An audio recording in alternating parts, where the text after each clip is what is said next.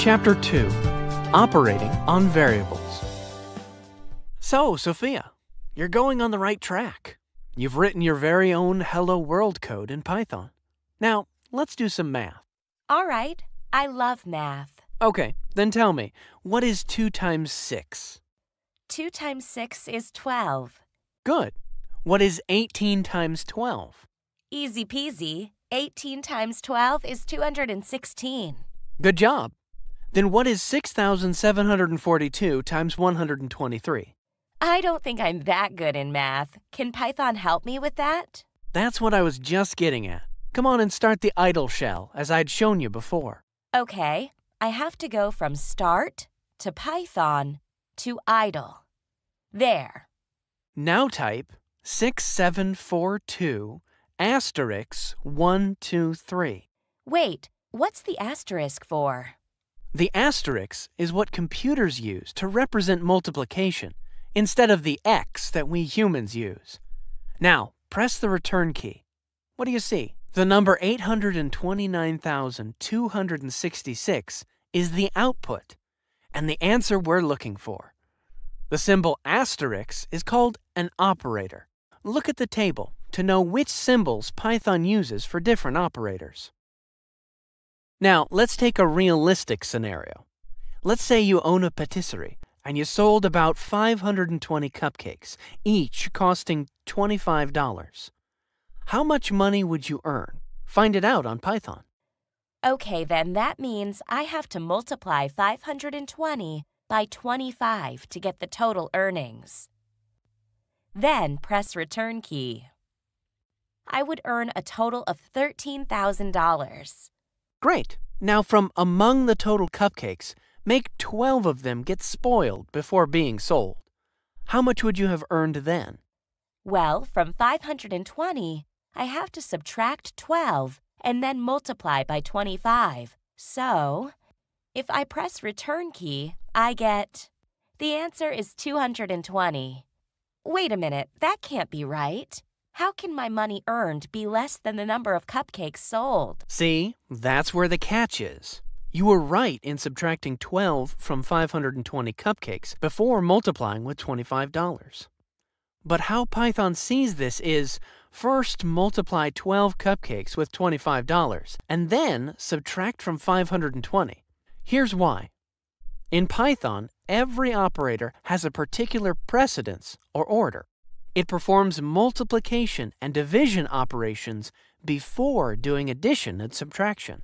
So, if it sees a calculation with more than one type of operation, it follows this order of precedence in executing it.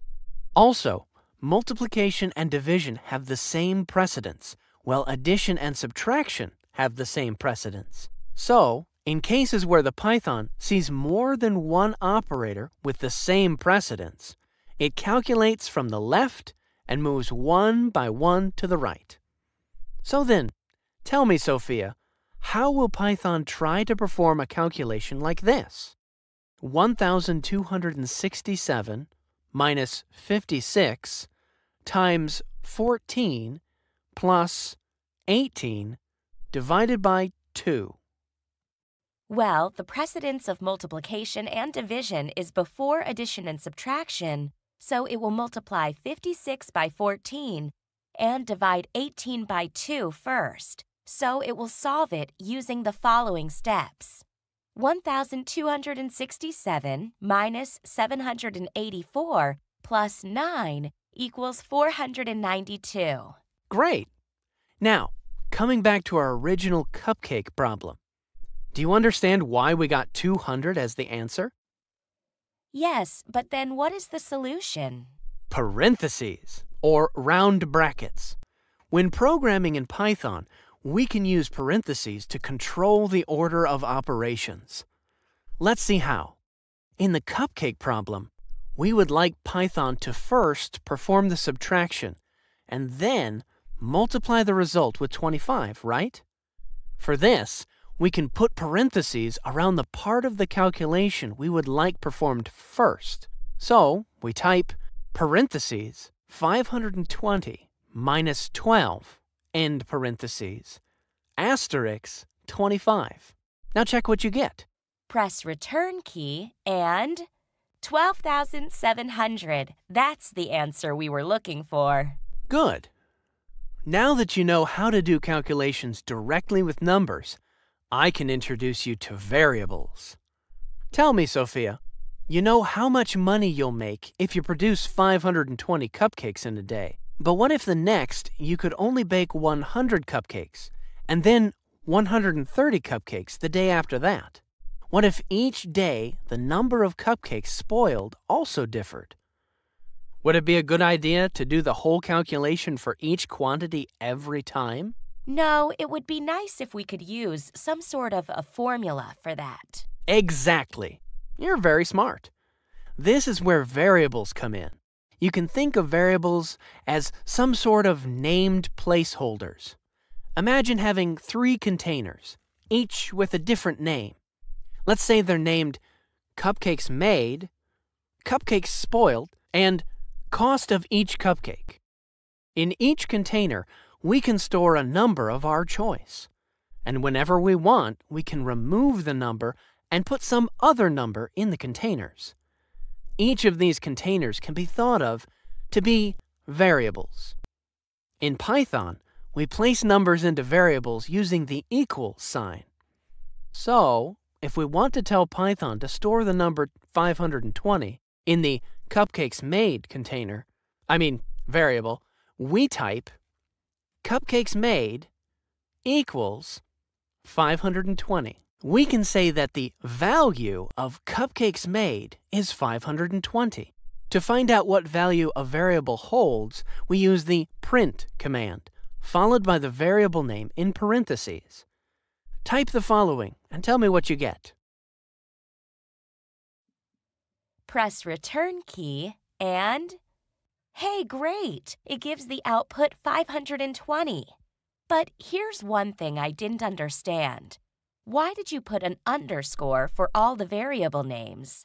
Why couldn't you just call the first variable as cupcakes made with a space in between? That's a good observation. You see, when it comes to naming variables in Python, there are certain rules that you need to follow. Variable names can be made up of letters, numbers, and the underscore character. The variable name cannot have spaces in between any other special characters, but you can use an underscore to separate words. Oh, and you cannot start the variable name with a number. Also, variable names are case sensitive, so make sure you're careful about which letters in the variable names are in capital. It's always a good idea to keep the variable name meaningful, so that you'll understand later on what the variable names represent. I'll give you a few variable names and you tell me which ones are legal in Python.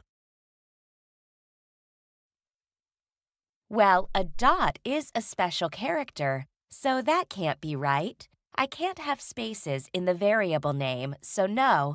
And a variable name cannot start with a number.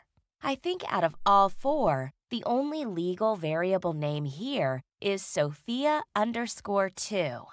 That's right. Let's move on. So you know how to create and print variable names. Let's see how to use them. Let's give values to each of our variables, cupcakes made, cupcakes spoiled, and cost of each cupcake. Enter the following.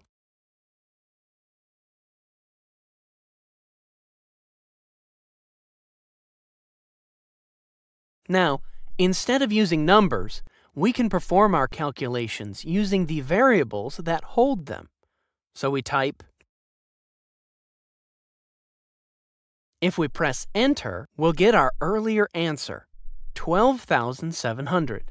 We can store the result of this calculation in another variable as follows. If we press enter, so now the variable money earned on day 1 will hold the value 12,700. What about day two? So, on day two, you produced 100 cupcakes, and let's say five of them got spoiled. Then, you'll just let the variable cupcakes made hold the value 100, and cupcakes spoiled hold the value 5. The cost of each cupcake remains the same, so there's no need to change the value of the third variable. Now, Copy and paste the earlier formula for calculating the money earned and store the result in a new variable called money earned on day 2 as follows. If we press enter, we will get our earlier answer, 12,700 as well. The same way, on day 3, 130 cupcakes were made, and say no cupcakes were spoiled. I know. Let me type it out. I simply copy out the last three lines, paste it, and change some values, like this. If we press enter, I got the answer 3,250. good job. So you see how helpful variables are? Yes, they allow you to represent calculations as formulae that can be reused by copying and pasting. That's right. They're also helpful for many other purposes. We'll see these later. For now, it's enough for you to know that variables are a way of holding values to be used later. Okay then, Sophia, question time again. Okay, I'm ready. Question 1. Which of the following symbols represents division in Python? A. Plus sign. B. Asterisk. C. Hyphen. D. Backslash. E. Underscore. The answer is D, backward slash. That's correct. Question 2.